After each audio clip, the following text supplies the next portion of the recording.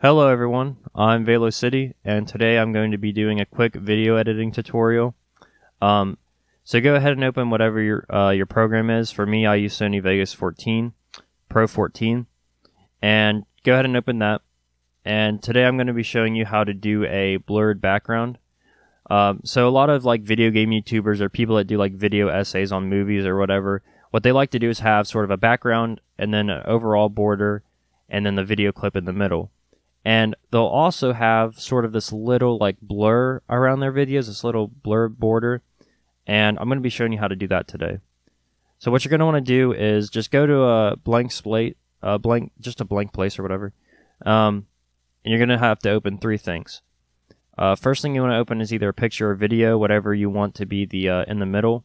So let's just uh, use this picture of a kid getting shocked. Why not? Um, and that is going to be your top layer. And what you want to do with your top layer is first, of course, crop it down. So to crop that down, uh, if you kind of mess with it like this, it's kind of not going to go how you want it to. So what you want to do first is, um, well, first of all, for me, I'm going to get this back in place. Okay, so it's back in place.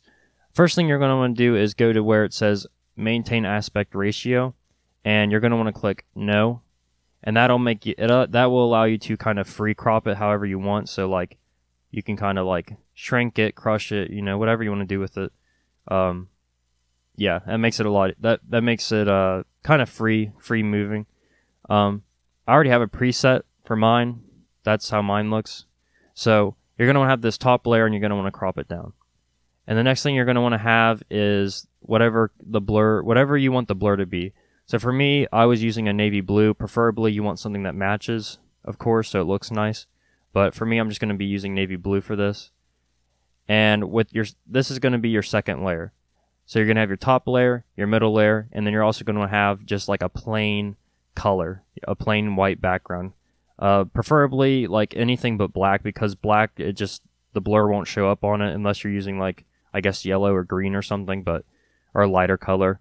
But for me, it's just it, usually looks a lot better if you use a lighter color. So you're gonna want this to be so you're gonna want your picture or video to be the top layer. You're gonna want the blur to be the middle, and you're gonna want the background to be the bottom layer. So go ahead and you crop the uh, top layer down, and you're also gonna want to crop the blur. So for me, I have a set one. That's kind of where mine is.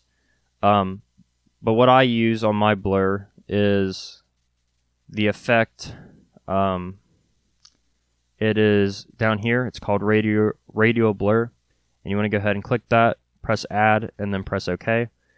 And what I have mine set to, um, I have a preset for this as well, but you can just copy this this is type proportional and its uh, a strength is going to be 0.483 because what because if you do it too much it's going to like just cover up the whole thing. It's basically making it um, just the blank slate or whatever it was just the blank picture.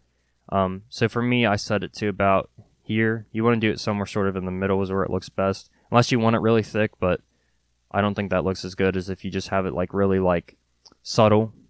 So f- for me, it's about a 0.483, and you want to keep this one proportional.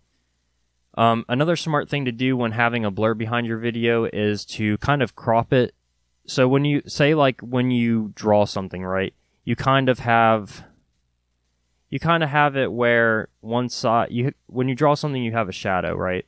So you kind of want to have one side maybe thicker than the other side or coming out more than the other side.